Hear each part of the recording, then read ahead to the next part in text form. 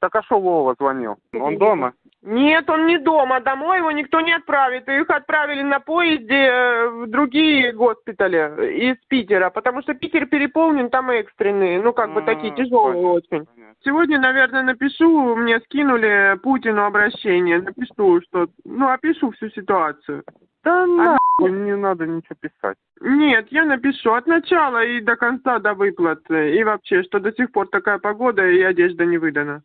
Ну, я мне не Ну. буду ходить, даже если ее выдадут мне. Вон, выдали Валентину, она, блядь, стоит на улице. Он мне не ходит, потому что у нее ног, ноги сломаешь, как на коньках, подошва круглая.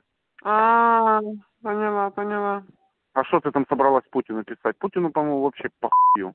Ты ему напишешь, она один не дойдет. Ну, я не знаю. Сказали, очень быстро реагируют. В течение трех дней обращение рассматривается. И и результат что? есть. Ну и что? посмотрим. А какой результат? Выплаты, Ну, блядь, пусть после разберется, десятого. пусть разберется по поводу выплат. У нас кто жалуется, пишет, блядь, всех нахуй хуй знает, куда их увозят, блядь.